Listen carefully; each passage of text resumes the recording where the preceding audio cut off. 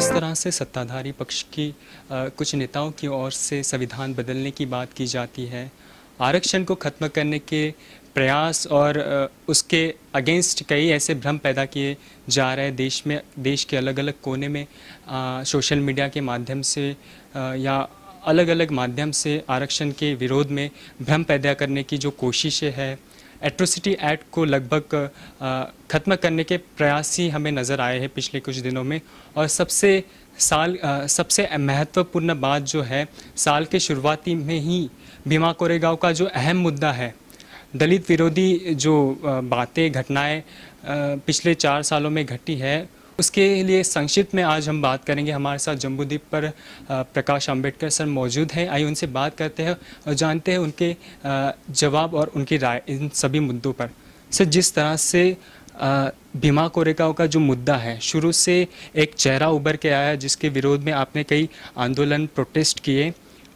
आज हमें दिख रहा है कि जो गवाह हैं, जो पूजा साकत है और ऐसे गवाह हैं जिनके जान पर आमादा हुई है ये घटना और इसके पीछे जिस तरह से इस घटना का, घटना के पीछे की जो लोगों की मंशा थी, वो आज हमें साफ़ साफ़ दिख रही है इन सब घटनाओं से जो पूजा साकत के साथ हुआ है और भी गवाहों के साथ जानलेवा हमले उन पर हुए हैं। तो इसके बारे में आपका क्या कहना है और इस पर आपका क्या कहना है? देखिए, सरकार की तौर से जिन लोगों को हमने आरोपी बनाया है, भिड़े और एक बोटे को। पूरी तरह से सरकार उनको बचाने के चक्कर में लगी हुई है।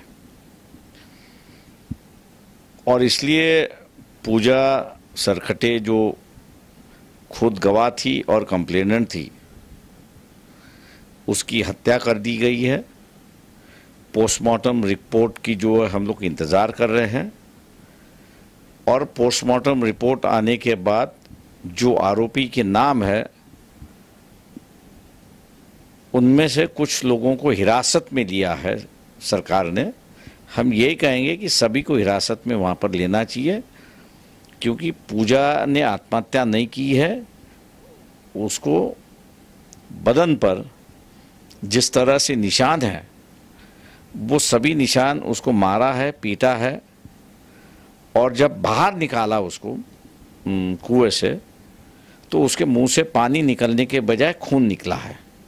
तो ये संकेत करता है कि पूजा को मार पीट के बाद में उसको कुएँ में धकेल दिया है। ये हकीकत है और हम लोग पुलिस से ये कह रहे हैं कि आप इसकी तुरंत इंक्वायरी करो, ये सबसे बड़ी बात है। जो आयो हो, उसको भी हम लोग ने समझाने की कोशिश की कि भैया सरकार आती है और चली जाती है, लेकिन आप परमानेंट हो। अगर कहीं कुतराई आपके यहाँ से दिखी इस इंक्वायरी में तो आपके खिलाफ भी चार्जेस होंगे सप्रेशन के और फ़िलहाल फिर आप भी उसमें फंस सकते हो। पुलिस हमको यह कह रही है कि ये हम लोग जो है वो किसी प्रकार की दबाने की बात नहीं कर रहे। तथ्य को लेके हम लोग चल रहे हैं। मेरे ख्याल से पुलिस डिपार्टमेंट पूरी तरह से सरकार के दबाव के अंदर चल रहा है ये दिखाई देता है। जिस तरह से अ, संविधान को लेकर बातें चल रही थी पिछले दिनों में। संविधान बदलने तक की बातें, सत्ताधारी के पक्ष के जो नेता है नेता है, नेतागण है, उनके तरफ़ से की गई। आपको लगता है इस सरकार की मंशा कहीं ना कहीं संविधान के विरोध में ही है, जिस तरह से पिछले दिनों में जो दलितों पर अन्याय हुआ ऊना से लेके आज सहारनपुर में फिर एक बार जो भीम आर्मी के अध्यक्ष, उनके भाई की हत्या, सरेआम गोली मारकर कर दी तो आपका क्या क्या राय है इस बातों पर देखिए, मैंने पहले से ही कहा था कि सरकार जो है, आरएसएस की सरकार जो है, उनकी अपनी एक फ़िलासफ़ी है, उनकी अपनी एक कह है कहनत है। उन्होंने उस वक्त भी संविधान नहीं माना और आज भी संविधान नहीं माना। लेकिन संविधान के माध्यम से वो सरकार बनाना चाहते, जहाँ पर बना लिया और आज दोबारा वो कह रहे कि हम लोग सरकार वहाँ पर, सरकार में इसलिए आए कि संविधान बदलने के लिए है तो ये खुली बात है कि ये ये संविधान बदलते बदल के ही रहेंगे अगली अगली बार अगर ये चुनाव में आते हैं तो। रही बात ऊना की है सारंगपुर की है तो इनको यही दिखाना है कि लॉ एंड ऑर्डर बिगड़ गया है लॉ एंड ऑर्डर चल नहीं सकता, ये संविधान की वजह से चल नहीं सकता। और किसी न किसी तो भी बहाने के माध्यम से अब ये संविधान बुढ़ा हो गया है अब इसको बदलने की ज़रूरत है। ये आस्ते आस्ते वो बातें ले आ रहे और इसलिए देश में अशांति कैसे फैले, दंगा कैसे हो, इसी का ही एक नतीजा जो है, वो दिखाई दे रहा है। आज मैं कहूँगा कि सुप्रीम कोर्ट भी जिस तरह से जजमेंट देता है, यही बात डाउरी के वक्त भी आई। कि डाउरी के कानून का दुरुपयोग होता है। और डाउरी का कानून दुरुपयोग होने की वजह से उन्होंने कहा भी सीधे सीधे जो अरेस्ट है, उसको कहीं ना कहीं तो भी रोक लाना थी सुप्रीम कोर्ट ने उस पर कोई टिप्पणी नहीं की इंटरफियरेंस नहीं किया, लेकिन एट्रॉसिटी एक्ट के अंदर भी कोर्ट ने यह कहा कि इसमें आ, कुछ ऐसे लोगों पर आरोप किए जाते हैं कि जिस पर आरोप नहीं होना चाहिए और इसलिए उन्होंने जो है प्री इंक्वायरी की इंक्वायरी लगा दी। मतलब मनु के न्याय व्यवस्था में चाहे वो शेड्यूल कास्ट हो और चाहे वो स्त्री हो एक समान समान है। लेकिन सुप्रीम कोर्ट के न्याय में स्त्रियों को अलग न्याय है और शेड्यूल कास्ट और शेड्यूल ट्राइब को अलग न्याय है ऐसी एक परिस्थिति है। तो मेरे ख्याल से ये जो सुप्रीम कोर्ट का अपना जो कॉन्ट्रडिक्शन है ये ये काफ़ी बड़े पैमाने पर आ, लोगों के दिल और दिमाग पे चोट कर रहा है और इसलिए वो सतर्क है कि हम लोग संविधान बदलने नहीं देंगे। सर पिछले कुछ कुछ दिनों से हिंदुत्ववादी जो सोच है वो सोशल मीडिया के माध्यम से हो अपनी मन मर्ज़ी मन मर्ज़ी चलाने का प्रयास कर रहे हैं। और हमें जैसे कई भगवाधारी जो लोग हैं, वो जिस तरह से नमाज़ का जो मुद्दा है या अलग ऐसे कई जो संवेदनशील मुद्दे हैं, लगातार उस पर घात पर घात करके देश का जो व्यवस्था है उसको बिगाड़ने का प्रयास करते हैं। तो आपको नहीं लगता जो ये जो ये सोच है जो हिंदुत्ववादी सोच है उसको एक ही ऐसी समता स्वतंत्रता और बंधुता की सोच जो संविधान हमें देता है वो सक्षम है जो कि बाबा साहब की सोच है। और यही इस सोच को पूरे पुरजोर तरीके से विरोध आ, कर सकती है। तो ऐसी सोच में जिस तरह से आ, ये आज हम देख रहे हैं जिस तरह से दलितों पर अत्याचार हो रहे हैं।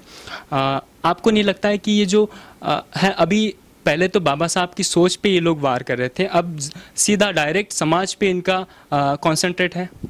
देखिए मैं कहूँ कि यहाँ जो आ, हम लोग जो हिंदू विचारधारा की बात करते हैं तो हिंदू विचारधारा दो किस्म की एक वैदिक हिंदू हिंदू विचारधारा है जो मनुस्मूर्ति पर चलती है और दूसरी विचारधारा जो संतों के वाणी पर चलती है।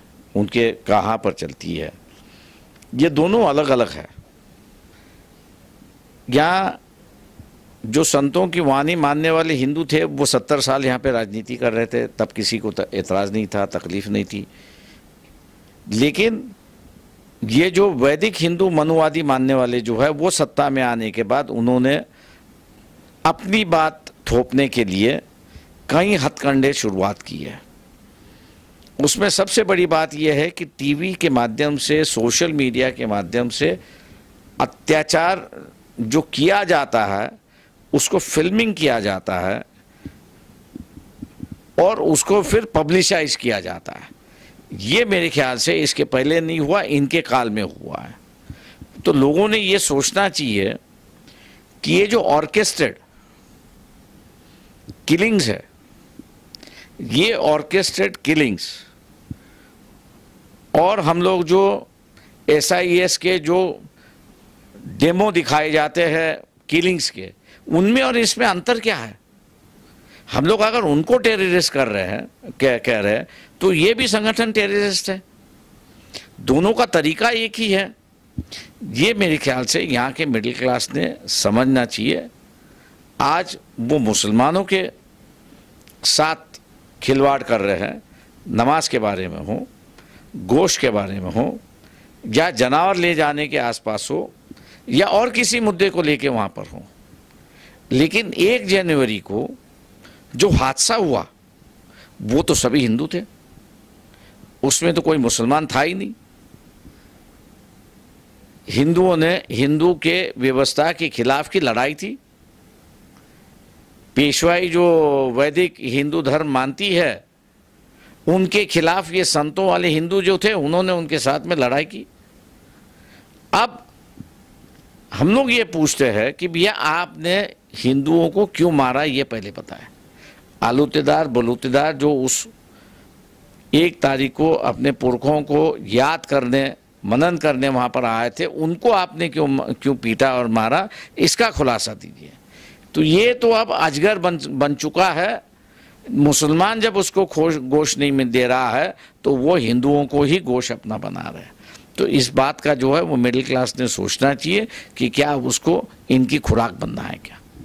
जिस तरह से एक गरीब तबका जो है दलित समुदाय है, अगर उस पर कोई अन्याय अत्याचार होता है तो एट्रोसिटी ऐसा एक कानून है जो वो हथियार की तरह अपना सकता है, उसको अपनाया जा सकता है। तो जिस तरह से पिछले कुछ दिनों पे एट्रोसिटी कानून को लेकर जो बदलाव करने के प्रयास हमें दिखे तो उसके बारे में आपका क्या कहना है? देखिए, मैंने जैसे कहा कि एट्रोसिटी एक्ट का दुरुपयोग हो रहा है, गैरव्यवहार हो रहा है, ऐसे सुप्रीम कोर्ट का कहना है। लेकिन जो डाउरी की प्रोविज़न है आईपीसी में उसका भी दुरुपयोग हो रहा है। ये कोर्ट के सामने कई बार बात आई और उस पर चर्चा भी हुई। लेकिन सुप्रीम कोर्ट ने डाउरी के कानून के अंदर किसी प्रकार का हस्तक्षेप नहीं किया, ना उस पर किसी प्रकार की पाबंदी लगाई। लेकिन एट्रोसिटी एक्ट के नीचे जब मामला आया, तब उन्होंने जो है उस पर एक तरीके से पाबंदी लगाई, प्री इंक्वायरी की बात लगाई और प्री इंक्वायरी के माध्यम से उस कानून का जो डर था, वो डर निकालने की कोशिश की है या वो डर को ख़त्म कर दिया है। तो ये थे हमारे साथ भारीप के नेशनल प्रेसिडेंट बाला साहब अंबेडकर जिन्होंने संवेदनशील मुद्दे जैसे कि दलितों पर जिस तरह से बढ़ते अत्याचार है, ऊना की घटना है और ऐसी घटना है जिन पे अपनी राय रखी। साथ ही में जिस तरह से भीमा कोरेगांव का मुद्दा है, उस पर भी सिलसिलेवार सिलसिलेवार तरीके से अपनी राय रखी है। हमारे इस जम्बूदीप वेब पोर्टल को आप लाइक करें, शेयर करें और सब्सक्राइब करें। धन्यवाद।